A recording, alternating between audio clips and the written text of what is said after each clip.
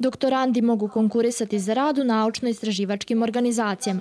Ljiljana i Nemanja su dvoje mladih, obrazovanih i uspešnih ljudi koji su se na taj konkurs prijavili prošle godine.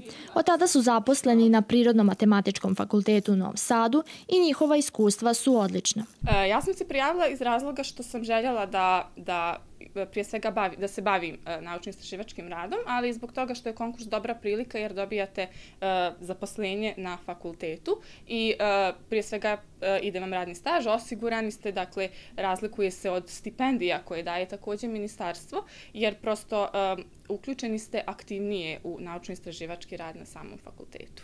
Sviđa mi se to što ovdje imam mogućnost da se bavim i naukom, ali i da radim sa studentima, a naravno i kolektiv je jako dobar. Pravo na podnošenje prijave imaju mladi istraživači koji imaju titulu diplomirani master ili su tek upisali doktorske studije. Kroz ovaj poziv uključit će se do 300 mladih istraživača.